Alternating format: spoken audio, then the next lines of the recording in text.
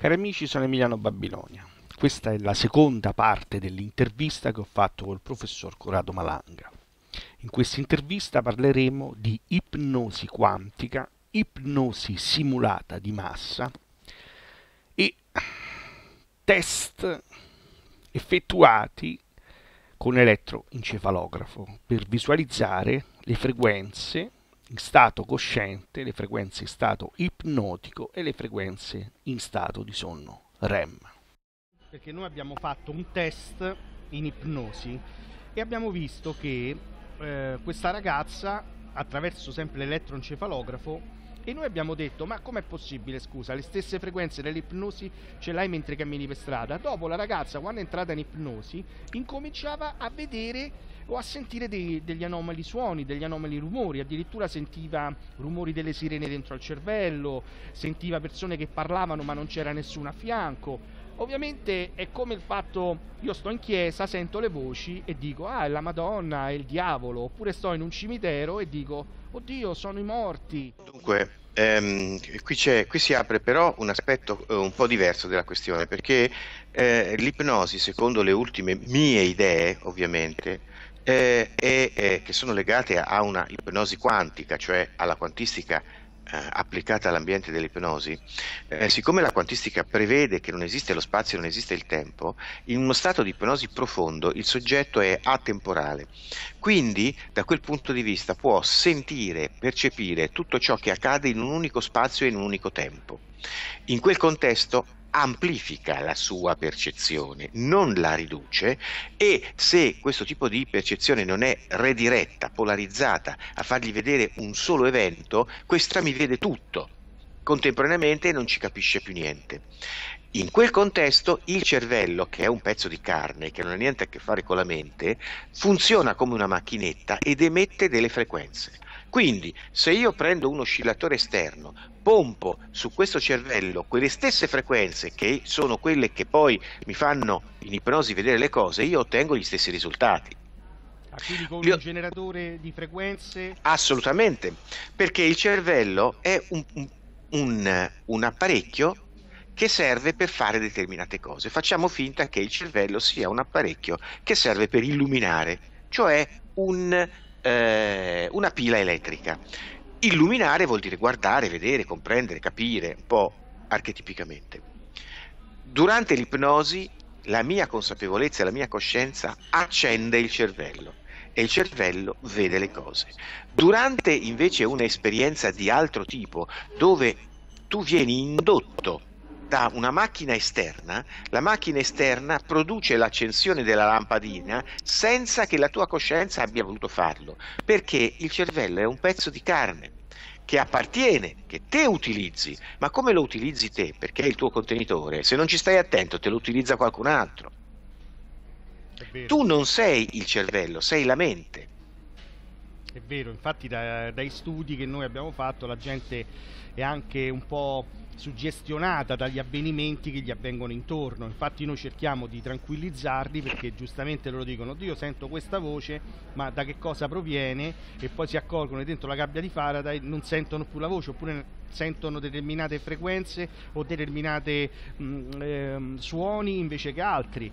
Eh, addirittura sto facendo un progetto di come creare eh, dei, delle case antiradiazioni con de, dei relè che bloccano la corrente elettrica. Ecco, qui c'è un aspetto fondamentale che varrebbe la pena di sottolineare eh, perché questa potrebbe rivelarsi una battaglia, ma, ma persa, cioè molto difficile. In questo senso, ehm, eh, riuscire a eh, eh, togliere tutte le radiazioni, togliere tutti gli effetti elettromagnetici, togliere tutte le impurezze, togliere tutti i trasgenici, togliere tutto è, è una battaglia che si può fare, ma ha una caratteristica fondamentale di partenza, cioè la creazione per difendersi di una serie di barriere. Allora, nel, dal mio punto di vista, si potrebbe dimostrare con un teorema fisico che la creazione di barriere produce sempre un'altra barriera eh, e, e, non solo, eh, ma la creazione di barriere eh, ti fa vivere in un modo non armonico. Allora, se invece di affrontare il problema con la creazione di barriere, cioè io mi difendo in qualche modo da te, la mia coscienza eh, comprende che te che mi stai attaccando altro non sei che uno specchio della mia consapevolezza e mi stai dimostrando che dentro di me c'è qualcosa che non va, curo me stesso, non ho più barriere e l'altro non mi si presenterà più.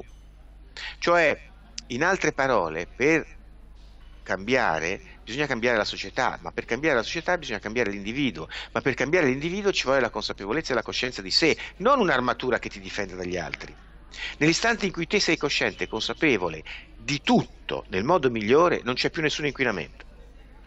Sì, infatti è vero, infatti è anche suggestione tante volte perché sentono patologie che gli vengono dette. Magari uno dice se ti avvicini vicino a quella centrale elettrica hai più disturbi. E loro quando perché, si avvicinano... certo, certo, questo per un motivo fondamentale, che siccome noi siamo uno e quindi l'altro non è un altro, non è il nemico, ma è quella parte di me che ha una consapevolezza differente. E siccome noi siamo i creatori del nostro universo, noi ci creiamo il nostro universo. Quindi non è che io vedo un'allucinazione che non c'è, non esistono allucinazioni, io creo l'universo perché credo che ci sia la Madonna da vedere, la vedo la Madonna perché lo creo così io. Quindi non è che c'è una persona che vede bene e una persona che vede male, ognuno vede l'universo che si è creato, ma allora perché ognuno si crei un universo coerente, con gli altri, l'unica possibilità è che tutti si creino lo stesso universo. E come si fa questo? Siccome la creazione dipende dalla consapevolezza che hai, quando tutti avranno raggiunto la stessa consapevolezza, tutti vedranno le stesse cose. Eh, ma magari che tutti vedano le stesse identiche cose. Eh. E mi ricordo su un'altra sua intervista, lei disse: Se non c'è un rincoglionimento di massa, non voteresti questo, non voteresti quest'altro. Assolutamente, assolutamente, assolutamente. Ehm, mm, e io comprendo anche come sia non facile dimostrare all'altro questa cosa, perché l'altro, siccome ha una consapevolezza di te differente, vede comunque il mondo diverso. Facciamo un esempio semplice. Quante volte sarà successo? A me mi è successo tante volte di scrivere una frase e dire, per esempio, questa pallina è rossa e il soggetto un giorno mi risponde e mi dice, siccome te hai detto che quella pallina era blu, io ho detto no, guarda che ho scritto questa pallina è rossa. No, no, c'è scritto così, questo vuol dire blu. Cioè lui a seconda della sua consapevolezza vede la mia realtà in un modo differente. Vero, la realtà distorta che ci circonda praticamente. Quindi, per esempio, D'Alema, che io giudico un cretino, eh, disse che eh, Gesù Cristo era il primo comunista. Questo, in questa frase c'è una ignoranza totale della storia, della religione, della politica che è allucinante. Sì, infatti per me tante volte col fatto delle scie chimiche, col fatto delle radiazioni elettromagnetiche, col fatto dei farmaci, dei vaccini, l'acqua che viene inquinata, calcifica, fanno calcificare la pineale attraverso sostanze eh, che vengono messe anche nell'acqua oppure all'interno delle scie chimiche o tanto altro. Proviamo a vedere il fenomeno da un altro punto di vista. Vediamo questo fenomeno in questo modo. Quello che ci accade è semplicemente quello che noi stessi abbiamo deciso che ci debba accadere, perché noi eh, eh, ci costruiamo una realtà virtuale che è quella che noi vogliamo vedere. Quindi, se qualcun altro mi calcifica la pineale, la colpa è mia. Eh. Perché se io avessi consapevolezza di me e non me la faccio calcificare la pineale però tanta gente non sa manco di queste cose, cioè vivono in Bene, un mondo... Esatto, e dov'è l'errore secondo me? Eh? L'errore sperimentale. L'errore è quello di diventare il paladino della difesa degli altri e dire guardate, vi sta succedendo questo, non fate così, così e così, vi propongo delle nuove ricette. No, non serve, perché lo scemo rimane scemo. a meno che non diventi intelligente ma per i cazzi suoi, cioè perché lui ha fatto il processo di consapevolezza, perché te, per quanto tu possa in qualche modo sacrificare la tua vita per gli altri e per fargli capire come stanno le cose, non ce la farai mai. Sì, perché troppa gente che tutti pensano in un modo differente e tutti ragionano nel modo loro, cioè anche uno che spiega una determinata cosa, il giorno dopo la rifanno a modo loro. Quindi, per esempio, è inutile che Berlusconi ten... tenti di convincere, e infatti così succede, Renzi o Renzi tenti di convincere Berlusconi, eh, perché nessuno dei due sarà mai convinto, perché ognuno ha una visione, una consapevolezza della realtà differente, ma si scopre qualcosa di ancora più interessante, che Renzi e Berlusconi la pensano esattamente nello stesso modo. Sì. Poi tra, come si dice, tra cani non si mozzicano. Non si morda, certo. Ma mh, avevo letto su una sua ricerca che parlava della frequenza dei 50 Hz che veniva sparata all'interno di una stanza sì. perché le persone avevano sì. delle patologie. Sì, sì. Questo è un esperimento che è stato fatto diversi anni fa qui all'Università di Pisa, ma ne stanno facendo tantissimi di questo tipo, eh, voglio dire, e si avevano eh, dagli articoli letti pubblicati su riviste scientifiche di ehm, neurofisiologia eh, fenomeni di analgesia dentale eh, di eh, disorientamento spazio-temporale, per cui i soggetti non si ricordavano, non sapevano più dove erano. E sono, io tirai fuori quell'esempio perché era lo stesso fenomeno che accade all'addotto quando sente il rumore nell'orecchio, fischio forte, e subito dopo accade l'adduzione ma lui perde coscienza di sé, memoria, eh, non sa più dov'è, non sa quanti secondi sono passati, non sa più niente. Quindi è la teoria anche eh, di utilizzo di una tecnologia anche ipnotica per la destabilizzazione cerebrale, per cambiare i nostri ragionamenti anche. Eh, va tenuto presente una cosa fondamentale. L'ipnosi te la puoi fare su un soggetto che accetta il tuo intervento perché se no te in ipnosi non ci metti nessuno. Questo in termini tecnici Erickson diceva perché non si può fare, perché eh, le, mm, eh, tu ti ribelli, sai inconsciamente che l'altro ti sta prevaricando e quindi non ce la farà mai. In realtà è la tua consapevolezza che decide se tu devi entrare in ipnosi oppure no cioè ti devi concedere all'altro oppure no. Se te hai una consapevolezza di te, nessuno ti metterà mai in uno stato ipnotico, ma se tu credi che non ci sia nulla di male, tu decidi di entrare nello stato ipnotico. Non è l'ipnologo che ti mette in ipnosi. Certo.